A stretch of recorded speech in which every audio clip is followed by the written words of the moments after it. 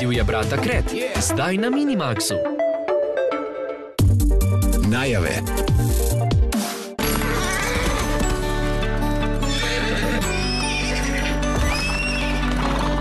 Če živali pomagaš v stiski, si bo to zavedno zapomnila. In od tega dne bo šla s tabo tudi na konec sveta. Spirit, klic svobode, vsak konec tedna na Minimaxu. Želim si, da bi imela izgubljeno igračo za srečo. Lepo je bilo, ko smo po večerji dobili čokoladne piškote. Če mi bo zdaj uspelo, mi bo tudi na izpitu. Če si nekaj zares želiš, se bodo takoj pojavile in nevidno upravljale svoje delo, da bi izpolnile nove sanje. Če boste to spet kdaj videli, boste vedeli, kje jih najdete. Dnevniki rosnih kapljic, vsak dan na Minimaxu. Cirkus, džungla, pomlad, noč čarovnic ali božič. Brez njega ne bi bili tako zabavni. Filmi z radovednim Đorđom na Minimaxu.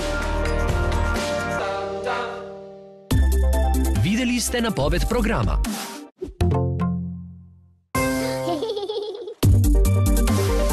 Oglasi.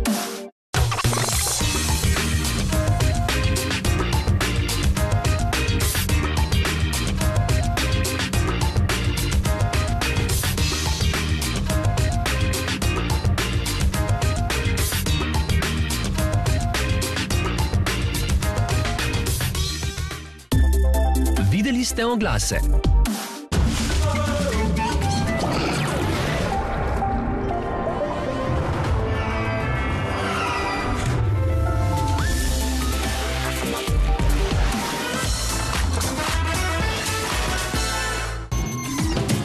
Klikni na spletno stran in preizkusi najuznemirljivejše igrice.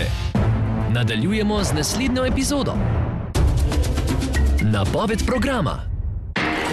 Ko se nam zdi uganka nerešljiva, A, mislim, da imam številko nekoga, ki nam bo lahko pomagal. je potreben najboljši na svetu, ki ne more biti nihče drug kot slavni raziskovalni novinar, legendarni mojster borilnih veščin, največji strokovnjak za von sirov, Daj si pa ti novica, Stilton. Geronimo Stilton, ob delovnikih na Minimaxu. V daljni preteklosti se je moral prazgodovinski človek prilagoditi na prazgodovinske razmere. Če ni šlo gladko, je nekako vseeno šlo, a ne za vse enako, seveda. Krudovi, družinsko drevo. Vsak dan na Minimaxu. Živa legenda, super agent, mali šef se vrača. Dodati moramo, da ne prostovoljno. Prikupanje do neba, agenciji pa ni še nikoli šlo bolje. Manjka samo specialist, ki se nikoli ne vda. Pustolovščina malega šefa se nadaljuje. Mali šef nazaj v zipki, vsak dan na Minimaxu. Skale ne morejo večno prekrivati stare skrivnosti samorogov, ki v srcu sintopije čaka in se davno izgubljena zdaj vrača domov.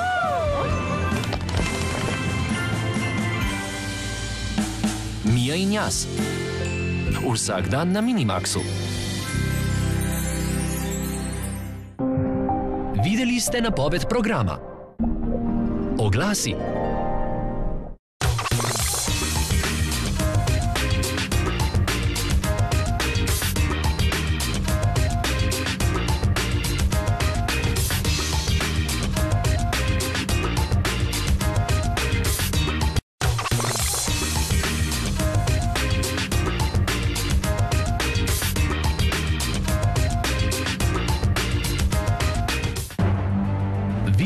Ste oglase.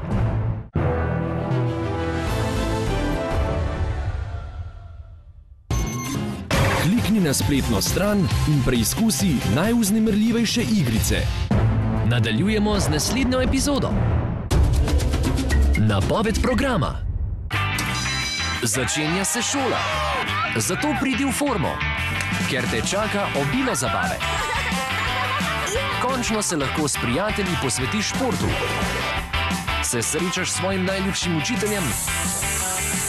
Najbolje pa je, da si lahko vsak dan ogledaš tri barvne serije po vrsti tu na Minimaxu. Saj imamo krasno ekipo. Jaz sem močna čarovnica, ti znaš dobro cviliti. Ti premikaš stvari z umom, ti si super močna, Monti letiš. Ti, kaj natančno že ti počneš? Wow. Pustolovščine obutega mačka, vsak delovnik na Minimaxu. Vsak predmet ima svojo zgodbo, tudi čokolada bi lahko marsikaj povedala. Kakavova zrna, naprimer, iz katerih je narejena, sploh niso okusna. Prvo kolo ni imelo prestav ali pneumatik, tudi pedal ni imelo. Da ne omenjam zavor. Kako pa so medvedi povezani z nogometom? Potujte v čas z nami v svet predmetov in vse bo razkrito. Nekoč so bili predmeti. Vsak dan na Minimaxu Na misijo smo kot pravi čuvaji parka. Danes imam najboljši dan vseh časov. Pridi, greva gledat morske leve. Iz kanalizacije lezejo. To je bil naslov filma.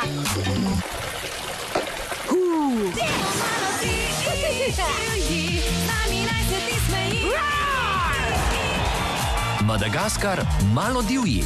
Vsak dan na Minimaxu. Videli ste napoved programa. Oglasi.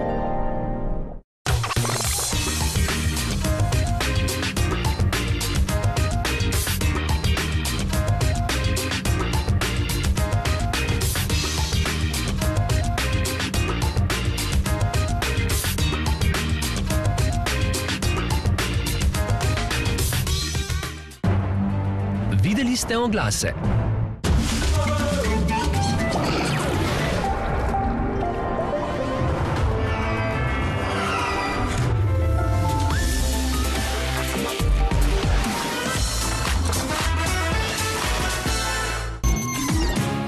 Klikni na spletno stran in preizkusi najuznemirljivejše igrice. Na Minimaxu sledi mali šef nazaj v zipki. Najave,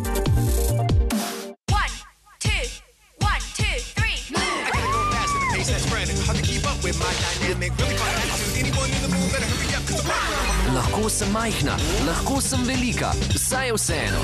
V vsakem primeru me čakajo pustolovščine. find out about something new. I wanna have a bite of my favorite food. I wanna be something, came from a crew. There's so many things I love to do. So many things I love to Polly Pocket. Vsak dan na Minimaxu.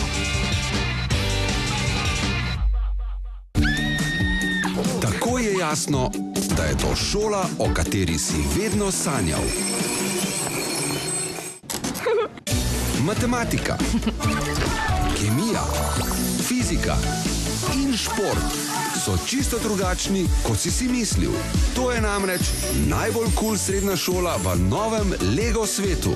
Lego Friends, naslednje poglavje, vsak konec tedna na Minimaxu. Ko ne moreš več zaupati niti svojim čutom. Ko je preveč zelo slutnih znakov. Izzivi pa postajajo vse večji. Spoznaš, da so se pravila spremenila. Jurski svet, kamp Kreda, vsak dan na Minimaxu. Ko boječi grizli Bug in Eliot Jelen, ki najprej naredi, šele potem razmisli, odkrijeta zapuščen poletni kamp sredi divjine, se prava dogodivščina starih prijateljev šele začne.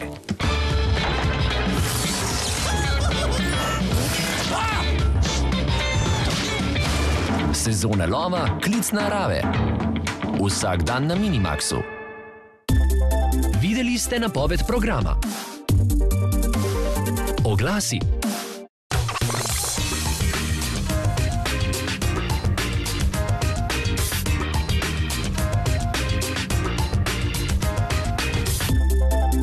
Videli ste oglase.